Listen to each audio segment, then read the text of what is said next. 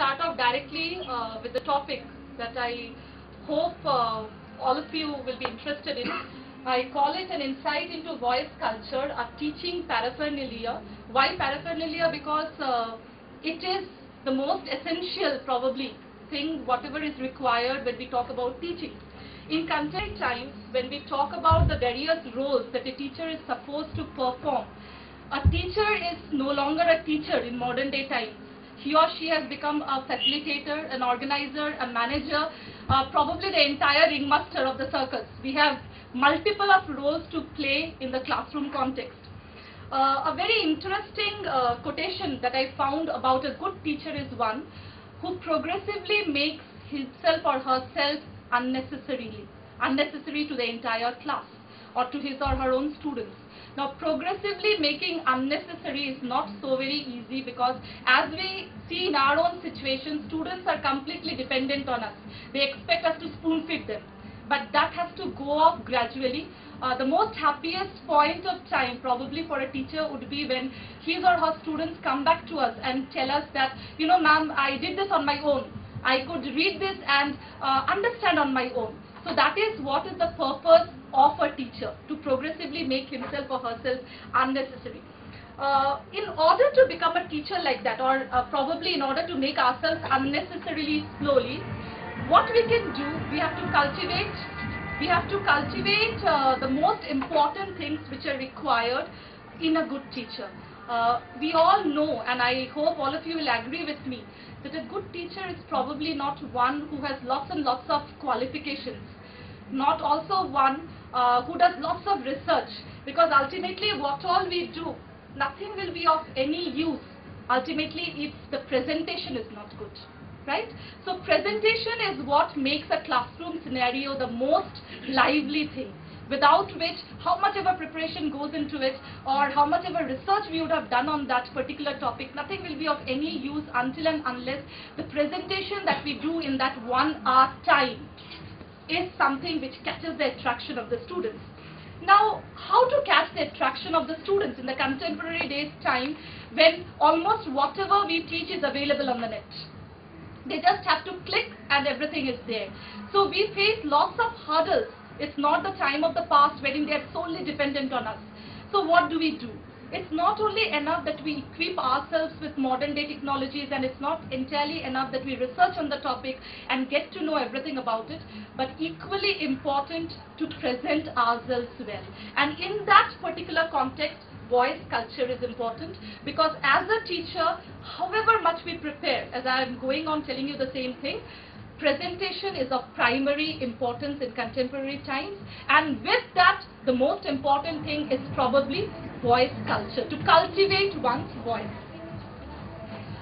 Uh, when we talk about voice culture, uh, what is it? It's something that we have to basically understand. Voice culture is nothing else but cultivating our voice. Now, the most important thing which comes to my notice as well as uh, your notice also would be that people would say that voice is something that we are born with. How do we cultivate it? Is it really possible? Because it's something which is genetically uh, there already. So is it possible? Now that's only a myth that genetically we do have the kind of a voice that we have, but that can be modified according to the circumstances, according to the kind of profession that we have. Uh, you can look at this particular definition that I have uh, given here. Also, you have to know that voice culture is a particular branch of studies. In the recent day period, it's a branch of knowledge which deals with the techniques of right voice production. Because in any profession, whatever we are in, whether it involves some kind of public speaking like that of a lawyer or probably a theatre artist or a teacher, voice production in the right manner is a must. Uh, it again uh, brings us to the association of quality of a voice. All of us speak, right? But not everybody has a similar kind of a voice. Uh, if we go back to the time when we all were students, uh, try to recollect, there were certain teachers, you know, with, who really attracted our attention. We could not possibly think of anything else when that particular teacher was talking to us. And there were a few teachers, I remember of one particular teacher who had so much of material within her. Probably at the end of the day, you know, she was probably the best teacher that we had. But because of the kind of monotonous way, that dragging of that lecture which would go on and on, I would never be in a position to listen to her. So that depends on what is the quality of the voice and what we do with it. So which can be developed according to the modern concept. We need not think about it as a genetic uh, thing, whatever is there, and which can be done with scientific and systematic training and practice. Uh, the third aspect when we talk about voice culture is the third aspect uh, that I would like to bring to your notice that voice culture is both a science as well as an art. When we talk about science, voice culture as a science, what I mean is that it has a systematic notion of study. There are people to help us out with it. There are lots of workshops being done on it. And it has a systematic approach in order to train. Why an art? Because how much ever training we undergo, if there is no creativity involved, if there is no individualistic thing involved, everything will be a flop show. Uh, when we talk about voice culture, who is it for? Why should we cultivate voice? Is it really required for everybody? Uh, I've just given a contrast between animals and human beings and the kind of sounds that animals produce and the kinds of sounds that human beings produce. When we talk about animal sounds, we usually think about grunts, growls, barks, hisses, uh, uh, roars, those kind of things, which obviously does the purpose for animals to, uh, you know, uh, give their meaning, no doubt. But in a human condition, it is not possible for us to just grunt and growl and roar. Right? We have to make our meaning clear through the speech and through the kind of uh, voice that we have to the others. So that's why human voice is very different from animal sound, the sounds which are produced because it's multi-layered one thing, it is multi-meaningful because we all know that a single sentence can imply various kinds of meaning because of the way it is uttered, the kind of voice isn't it? When we uh, talk about something which really should make others happy and the way we utter it, it's in a very you know, monotonous tone. It shows that we are not really happy about it, right? In a similar manner, when I'm offering my condolence and I am jubilant about it, my voice is very loud. I don't think so the purpose is done, right? And a good teacher, obviously, I come back to the term teacher here because we are focusing, the talk is focused on teaching learning method. A good teacher is not merely one who has a loud voice it's not merely enough to roar and uh, make the students listen to us. Because at the end of the day, we are dealing with graduation level students, degree students, who do after all whatever they want to do. Until and unless they find it interesting, yes, we can hold back their int uh, interest, otherwise not. So that's the basic difference between human sound, the sound produced by human beings, and the sound produced by animals. And the greatest voice users are most probably these people and teaching profession also requires voice. Without the proper voice, no teacher can make a good job of himself or herself until you like as I have already told probably lots of uh, background work goes into it even for a theatre artist but at the end what matters is how we present it. Uh, when we talk about voice culture and who can help us, the primary thing for us to understand that whenever we have spoken about voice culture or brought it to light, uh, there are lots of myths surrounding it. Myths, fantasies, lots of lies, lots of apprehensions, and lots of uh, reservations because we are all happy with however we are and something which is inborn it's very difficult according to us to change that. So people usually have that kind of a notion that it is uh, given to me, right? God has given me, made me like that. Why should I change myself? Got it? So that is the kind of a myth which surrounds that and also more importantly that it cannot be modulated, it cannot be modified, it cannot be changed. This is my voice. How do I change it? This is the particular notion which we have. But uh, this kind of notions, the wrong notions which are in practice are slowly giving away to the modern thought that voice can be modulated. It can be cultured, it can be cultivated for the kind of a purpose that we want it to. And there are scientific aspects to it when I have given the names of these uh, people who are there to renovate the kind of a voice that we want to be done, obviously with our own practice. Nobody can inject that to us. It also means that there's a scientific aspect to it. I think I've already made it clear that it is a science as well as an art and these people are, when they are there, when they are ready to help us, the entire process lends it an air of a scientific approach. There are clear-cut methods as I've told you, there are lots of uh, trainings which are done through which we can practice, through which we can modulate our voice if it's found that it is not up to the mark. Uh, also at the same time, let me uh, point out that when I talk about it as an art, it's not merely enough that we go for counseling and we go for training sessions until and unless we discover on our own the kind of a voice that we have and the suitability of it in the classroom situation. Nobody can help us. Uh, what would the uh, benefit be of culturing or cultivating our voice? Are we are all doing good jobs? Then why not have uh, that particular kind of a voice, retain it? What would be the benefit of culturing and cultivating our voice? Uh, there are lots of negative aspects that we all probably have to certain extent, like the psychological fears of facing the entire class. And uh, in our cases, we have huge classes of 100 students, 115 and things like that. So even a class of 10 students also might get bored. It has nothing to do with the, you know, the size of the class. It has more to do with what kind of a voice that we are presenting in.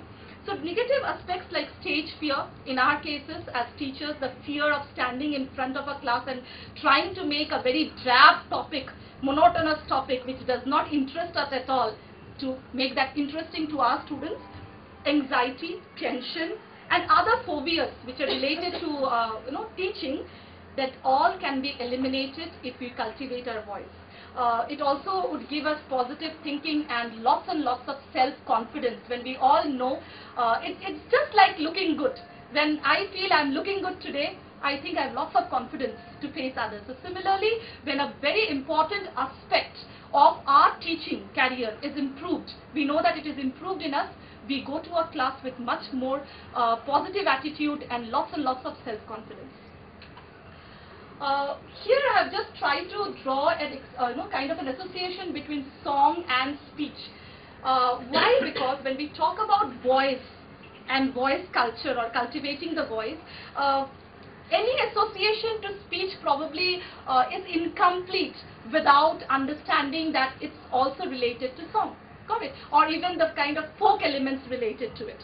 Uh, but when we talk about singing, uh, we all know that yes, that's also production of voice, no doubt. But then at the same time, it's much more complex rather than you know uttering words because there are lots of uh, delicate control which is involved with the muscles, which is not there when we are talking. Uh, so musical study and vocal study are two different branches. We should not confuse when we are talking about uh, uh, this particular topic, voice culture. It is not the same to do with speech and song.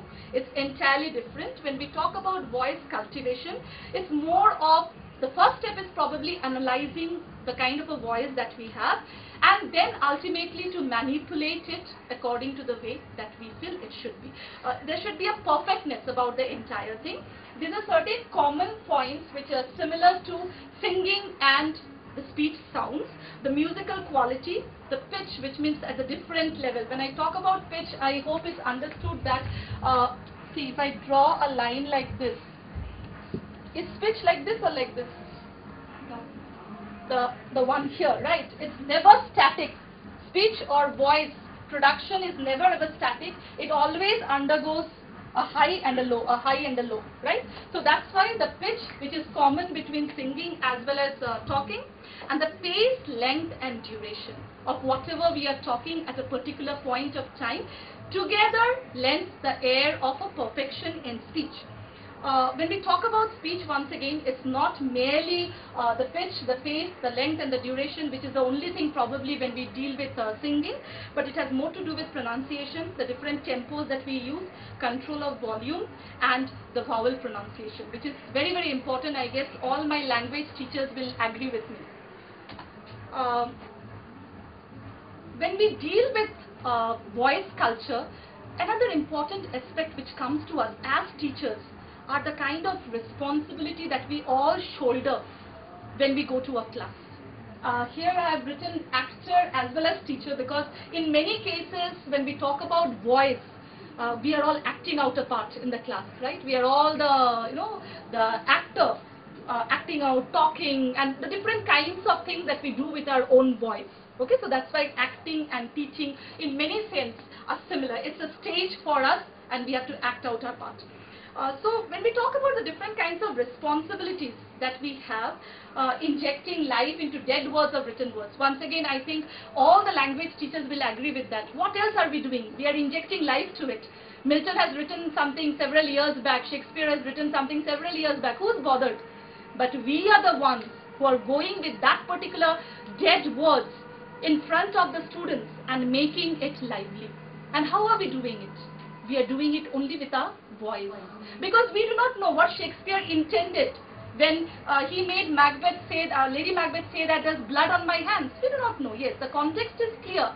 But what actually goes into it is the teacher describing it, pointing out through the voice modulation in front of the. And then bringing out the sentiments. Whatever we teach, uh, since uh, it's a group to do with arts and humanities, I guess all of us teach subjects which has to do with some kind of a sentiment, right? So this sentiments can be brought out only when the correct voice is used. Otherwise, it is not possible at all. A careless actor or teacher massacres the innocent words of the writer and finally assassinates the sublime thought of the author or dramatist. I hope you will all agree with me. We can kill a particular poem the way we teach. We can make it lively and interesting by the way we talk, right? So uh, killing a particular thing is very, very easy. I guess all of us have gone through that, the kind of experience that we had in our teaching and obviously the kind of experience that we have with our teachers, whenever, uh, with our students, I'm sorry. So whenever we ask them to read a passage, I'm very apprehensive because I feel, you know, that's it, that passage is dead. For many a students do not know how to actually modulate their voice, how to pronounce things, how to uh, bring out that particular thing with the right kind of sentiment right? So that is a responsibility shouldered by all teachers. Uh, what I mean by pause in dialogue presentation is obviously the voice disorder. The voice disorder uh, can be actually divided into two parts. One is the organic disorder and the other is the functional disorder. Uh, one is the organic disorder, organic and the other one is functional.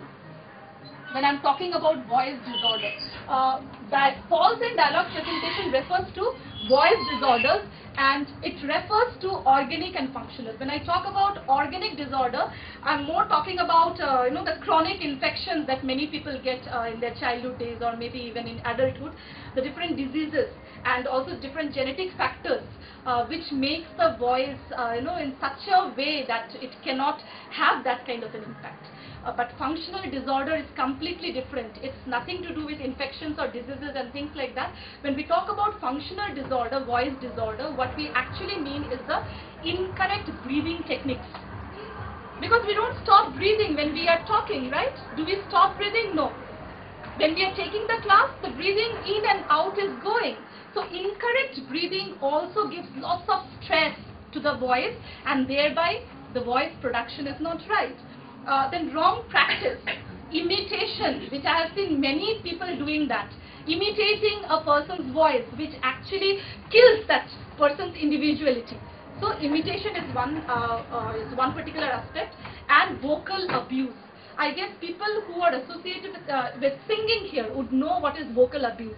Uh, when I was learning singing for a very short duration of time, my teacher, the teacher out there, she prohibited me to sing Hindi songs. I don't know if that is in practice everywhere. She says, no, you're just learning. If you, uh, you know, sing Hindi songs at that point of time, the kind of a voice that I want you to, uh, you know, have, that will go off. I don't know whether it is an universal truth or not. But then vocal abuse also has some kind of a, uh, you know, uh, individual reasons while using, uh, you know, people who eat tobacco and things like that. So wherein the entire, you know, lots of infections and things like that for what, uh, you know, the entire vocal cord comes to such a state that there are certain pitches of the sound which cannot be produced at all. If it is not corrected at the right point of time, uh, it might even lead to permanence of loss of voice. Okay. Now, when we are talking about uh, falls in dialogue presentation or voice disorder, uh, there, there are few points which we should keep in mind and we should try to avoid. The first one is jerky delivery. Jerky delivery is uh, which is something which is not smooth. You're all teachers here, you would be able to understand in a better position because it's not a mixed crowd. What is meant by jerky delivery? Something, you know, uh, you listen to somebody and at the end of it, just as a song, you find that, you know, the voice is so jerky, it's so, it's not smooth, it doesn't give a, a musical quality at all. So that's called jerky delivery. Wrong pauses. I hope you can read this. A panda eats shoots and leaves. So if there is a pause, what happens? The entire meaning is changed. The meaning here is changed because I put a comma here wherein you are supposed to pause. A panda eats shoots and leaves. What is the actual meaning here? It eats shoots and leaves. But when you give a pause, it has a different meaning altogether. So that's why wrong pauses change the meaning. So voice up and down, the pitch up and down, if it is wrong, the entire meaning of the sentence goes off nosy intake of air, the way we inhale in and out. These are all faulty breathing techniques. Again, the voice is abused. Indistinct and inaudible phonemes. What are phonemes? The smallest unit of sound, right? So whenever uh, any sound for that matter, sir, z, people uh, who are not related with English would probably not know what are phonetics. So in phonetics we know that it's not the five vowel sounds and the other consonant sounds that we have. It's entirely different. There are lots and lots of others also. Uh, the reason behind it, the reason uh, what happens is that the way we pronounce every word changes its meaning completely. So that's why each and every phoneme should be uttered in the most distinct word which is possible once again with the correct vocal tendency. So sa, the entire pronunciation changes completely. Uttering with closed mouth. I don't know if you all have observed, there are few people who utter with closed mouth, they talk with closed mouth. Uh, I have heard and I am of the opinion that maybe it has uh, no, the kind of a study that I went through while preparing this is because of the kind of a psychological complex that those people have. Uh, it gives me dimples or maybe uh, the person wants a steady smile or probably to ignore the uneven teeth. I do not know what it is. But then uh, utterances with closed mouth is a big no-no because there are certain vowel sounds wherein we have to stretch open and close the mouth. Oh, ah. So you cannot always talk with closed mouth. It's not possible at all. Uh, I would like to continue this. Uh, the next point is ponderous speech. What is pondering? Thinking and talking. Now, yes, all of us need to think and talk. It's not possible always to deliver, uh, you know, ready-made speeches. It's not possible. But by here, by, when I talk about ponderous speech, what I mean exactly is long, long pauses. I guess all English teachers would know something called fillers. Can anybody tell me what are fillers? Excuse my handwriting, it's completely bad when it's in the whiteboard. What are fillers? Fillers are the use of mm, ah, ha, right? So which many of us use, yes, but to a certain extent. Ha, okay, and then there are lots of, lots and lots of long pauses all throughout, which makes a speech, the vocal sound faulty. And it is not at all a style statement. If people think, if our students think that uh, to have ponderous speech is a style statement, it is not so. And then monotonous speech. Uh, the same thing. Probably if we give a reading passage to 10 people, it will be uttered in 10 different ways. The best probably would be uttered by teachers right? Because we know where to pause, where to stop, where to have a high pitch, where to have a low pitch. So whenever there is monotony in any pitch, which results in the vocal cord, the, vo the voice thing, uh, which completely goes up or it completely goes down or probably it lies flat, there is no interest in the mind of the learners in our case or in the minds of the audience at all. And then final consonants. There is a tendency for many people to avoid pronouncing the final consonants. They find it difficult because as I have told you of the vocal abuse. When we say pax, there are many people who do not know how to pronounce it. The correct vowel pronunciation and the correct consonant pronunciation, especially with consonants which come in the end. The lisp. What is the lisp? It's a speech fault. Wherein sa, the sound sa, it's not s. Sa sound is pronounced as th. It's usually to deal with organic disorders. But many of times we have found it to be a functional disorder also, wherein many people pronounce the sound sa as th. Okay, it comes because of a lisp of the tongue, which is a speech disorder. And then voices falling off at the end of the sense group. By sense group, I mean a meaningful sentence. Many people, I have seen many students of ours, uh, you know, if they have to utter a very long sentence, the voice trails off at the end. Isn't it? You please notice that and see that it is for true uh, they emphasize so much on the subject probably and the conditionals and all that in the beginning and the end of the sentence misses off. So that's again a kind of a voice disorder. Uh, if we are dealing with voice culture, obviously we cannot ignore the art of speaking. These are two intertwined subjects. It will come together. Without voice, cultivating the voice, there cannot be the good art of speaking. Uh, ultimately, it has to be pleasant, musical and in a conversational mode. That only is the most valuable asset of a teacher. Uh, if we are talking from the teaching learning point of view, how much ever we go prepared uh, in the class with lots and lots of knowledge the entire day you are prepared, ultimately the voice is faltering, nobody will listen to us. So we all probably have to keep in mind that the student has to endure us for one long hour, which is not a very easy thing to do at all uh, when we talk about the art of speaking once again or uh, cultivating the right kind of voice, uh, we have to always remember that whatever way we are presenting should have a constant reminder in the mind of the students. It should not go off. Probably, you know, uh, they will forget. Uh, will, notes can be made, notes can be written. But what gives an impression in the mind of the audience or the students is the presentation, the way we have uttered those words in the uh, you know, in the, the public. That is what will remain in their mind. So for that, what we can do, giving exact value to every phoneme. Once again, the smallest unit of sound, sa, tha, da, da. We cannot ignore any phoneme at all. Every single phoneme has its own importance and should gain the importance while making the public speaking.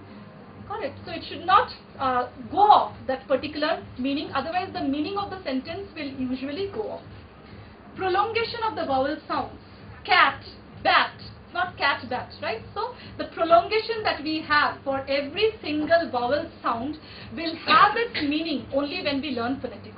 So phonetics is not the you know uh, sole treasure of English teachers. I hope uh, it should become a part and parcel of every single teacher if you want to make a impact on your students full vocality and precise articulation. Full vocality where you utter every word in its full form.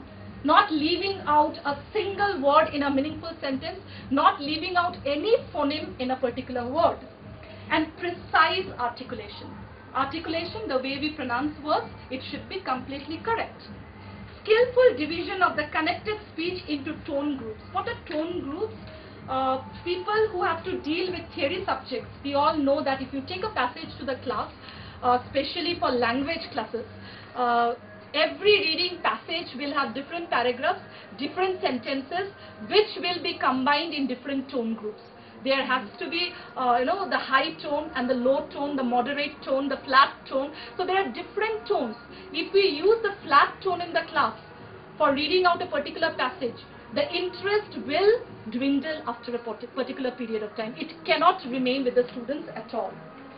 Skillful divisions of the connected speech into tone groups, that is, uh, you can read a uh, passage and see how uh, a particular passage has different tone groups. It will have something called sympathy. It will probably have a tone wherein you have to use a very high kind of a voice. So it will always differ from word to word, sentence to sentence proper accentuation and the last one emphasizing the accurate word means almost the same wherein uh, in a passage we should know or in a particular uh, sentence for that manner, matter we should know which word is to be emphasized according to the meaning the boy is going to the school. It's a very simple sentence wherein for somebody the boy might have more emphasis. In a particular context, the school should have probably would have a different kind of an emphasis. So one meaning might be where the boy is emphasized, where going might be emphasized, where school might be emphasized. So while uttering, reading and writing is not the same thing, right? So in writing there is no emphasis, but while speaking out, every word has to be emphasized wherever we want to do so. Uh, um,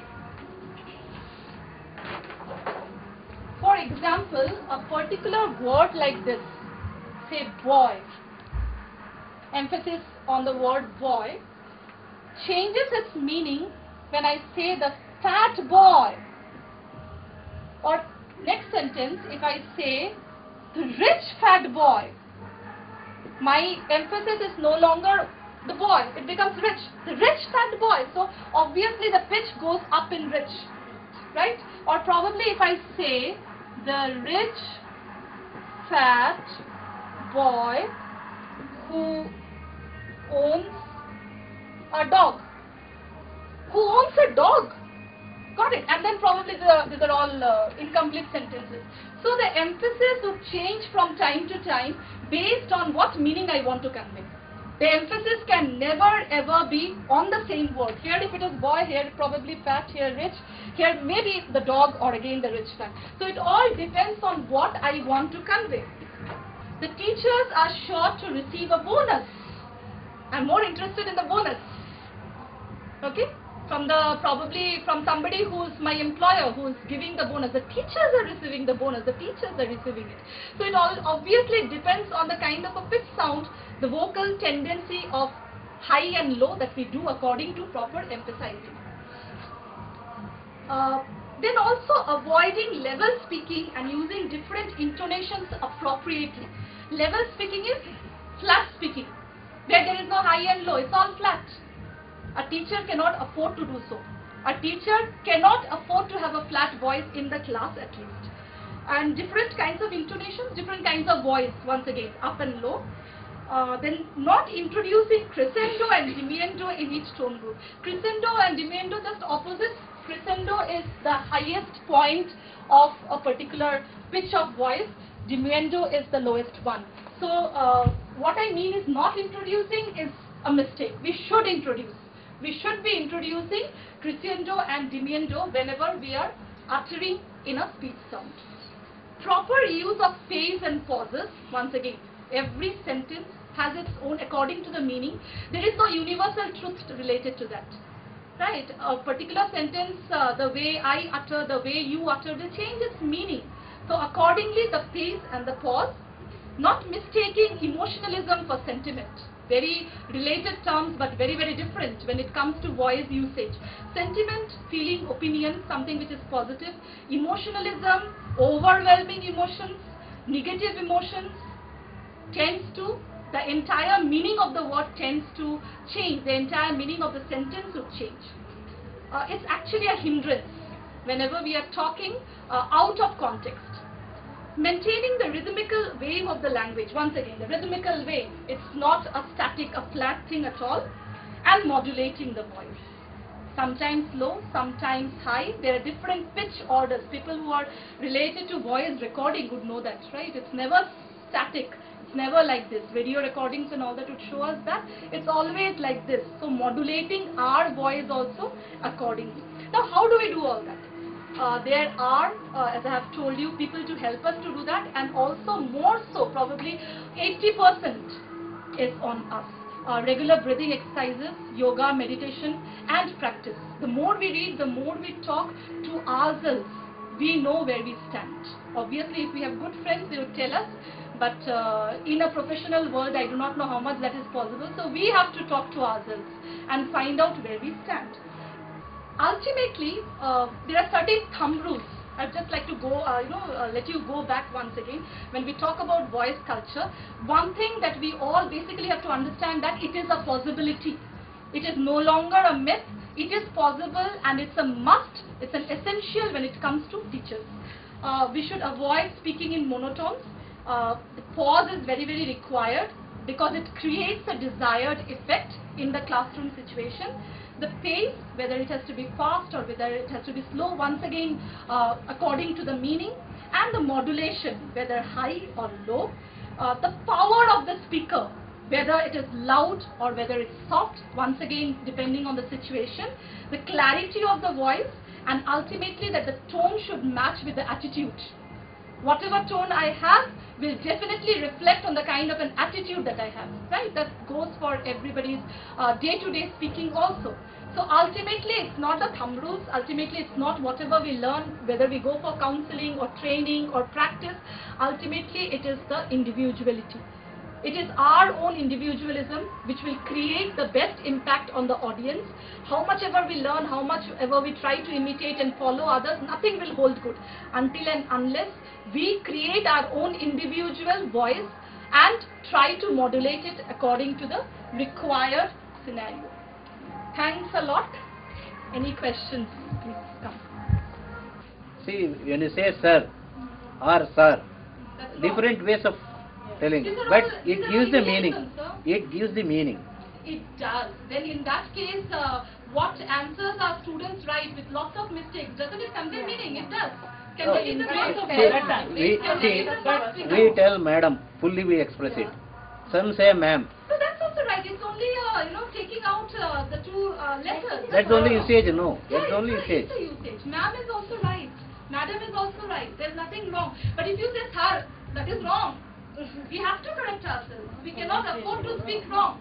When we are speaking, No, if I'm speaking Bengali, I should speak like a Bengali. If I'm speaking Kannada, I should speak like a localite. If I'm speaking English, I should speak like an Englishman. There's no hard, you know, hard and fast rule, but there's no shortcut also. Lots of students, you know, uh, who do not speak clearly, loudly, uh, they probably, you know, they have that psychological fear that maybe if ma'am hears me properly, you know, that's it, there are lots of falls. So that's a psychological fear, the anxiety, the tension which is within us. So psychologists have a big role to play in cultivating one's own voice wherein all those negative emotions go uh, off and you get the positive attitude and the self-confidence to speak clearly, properly, when you know you are right. I'm supposed to propose the vote of thanks also. So thank you all for attending it. and I hope it has given you some insight into uh, voice culture of cultivating the voice because we cannot escape the importance of voice in teaching. Thank you.